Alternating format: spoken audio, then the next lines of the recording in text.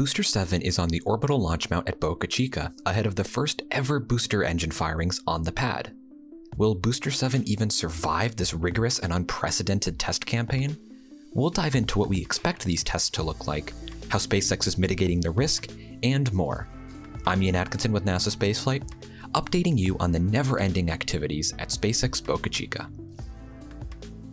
SpaceX is gearing up for the first static fires of a booster on the orbital launch mount. This booster, Booster 7, was rolled out and lifted onto the mount on June 23rd. This lift was notable because it was the first time a booster was lifted onto the mount using the chopsticks. The vehicle has since undergone several tests, including a Raptor igniter test and cryogenic testing. Based on previous test schedules, it's expected that the next step will be a pre-burner test. Now this test, or perhaps tests, will see the two pre-burners on each Raptor engine be quickly ignited, while its main chamber is not ignited. This is an interesting event as it produces a large cloud of burning methane. It'll be hard to miss. And if all goes well with pre-burner testing, the next event should be the big one, the static fire test campaign. Now, it's not entirely clear how many engines will be fired at first, or even how many firing tests there will be.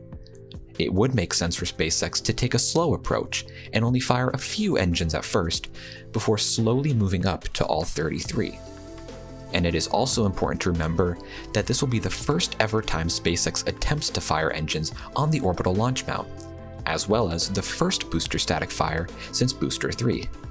Remember Booster 3? But anyway, given all this information, it would not be surprising to see tests get scrubbed.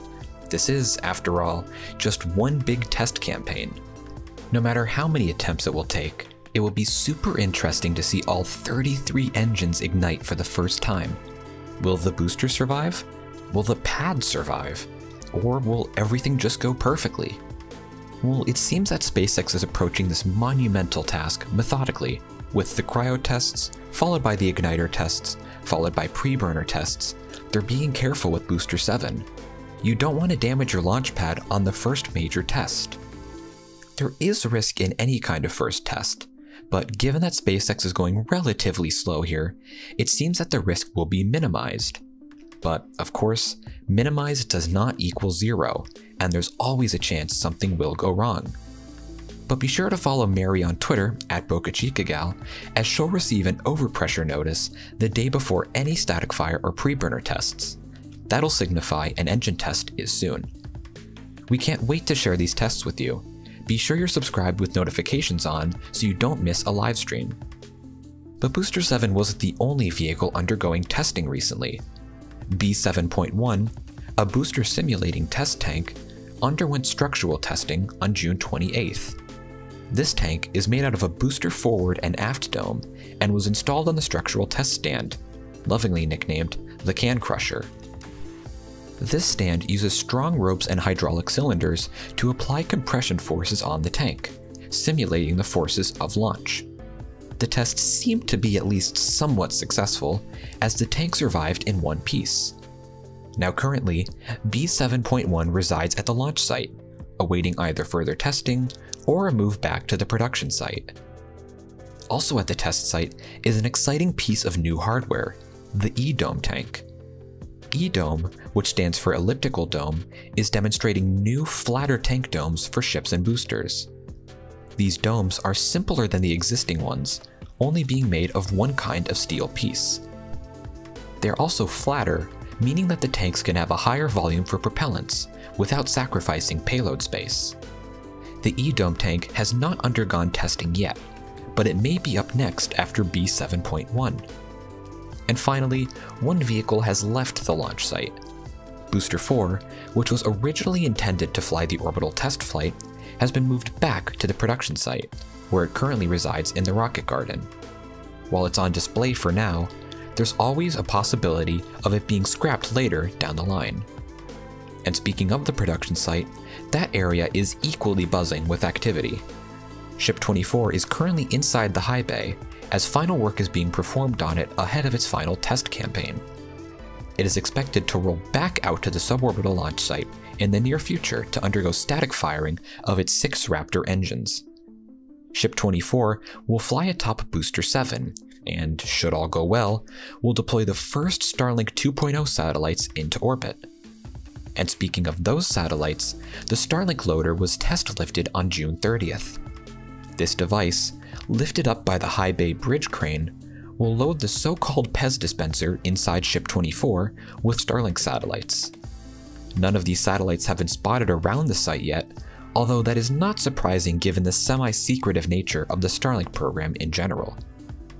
Just next door, in the still under construction Megabay, Booster 5 is being scrapped. This booster, of a similar outdated design to Booster 4, was assembled late last year as a production Pathfinder and moved to the Rocket Garden for storage. It is now being scrapped, likely to save room. And speaking of the Megabay, this new assembly building has finally received its roof. There's now a large open space at the top of the building, and it looks like there's enough space for two floors. It's not clear what will be put up there, but give us your best guesses in the comments. Maybe another bar? Maybe mission control? Or just some extra workspace? Let us know what you think. One interesting thing to note is that it seems that work on future vehicles has slowed dramatically. Booster 8 still remains in two pieces, and Booster 9 stacking has not begun yet, although parts for it have been spotted around the build site. Ship 25, on the other hand, is slowly being worked on. It had its own Starlink deployer, or PEZ dispenser, installed on June 22nd, but not much else has happened with the ship. Ship 25 and Booster 8 are expected to be the next pairing of orbit ready vehicles. This slow pace of assembly may be due to SpaceX not wanting to complete the vehicles before Booster 7 and Ship 24 complete their test campaigns, or maybe even fly. If a major flaw is discovered during those tests, it would be a real shame to have to completely scrap a set of finished flight vehicles. And while we're discussing building vehicles, let's check in on the Star Factory, which will be a permanent factory for building Starship rings, nose cones, and other components.